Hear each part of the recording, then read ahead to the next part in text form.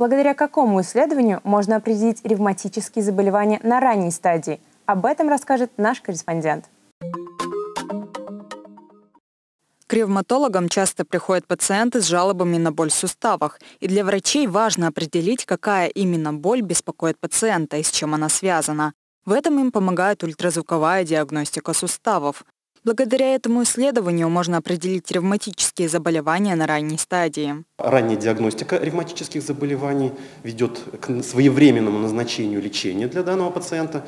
И э, своевременное лечение, как правило, э, это достаточно благоприятный прогноз для пациента.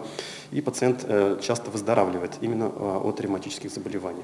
В университетской клинике Казанского университета проводится ультразвуковое исследование на аппарате экспертного класса. Екатерина Капустина, врач ультразвуковой диагностики, также отмечает, что важно исследовать симметричные суставы суставы для правильной диагностики заболевания. Обследуются абсолютно все а, суставы. А, чаще всего это коленный сустав, голеностопный, а, плечевой, локтевой сустав. Исследование тазобедренного сустава зависит от конституциональных особенностей пациентов.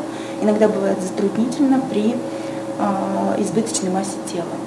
Очень важным исследованием для наших ревматологов является исследование мелких суставов кисти. Ультразвуковая диагностика суставов также помогает врачам в наблюдении прогрессирования болезни.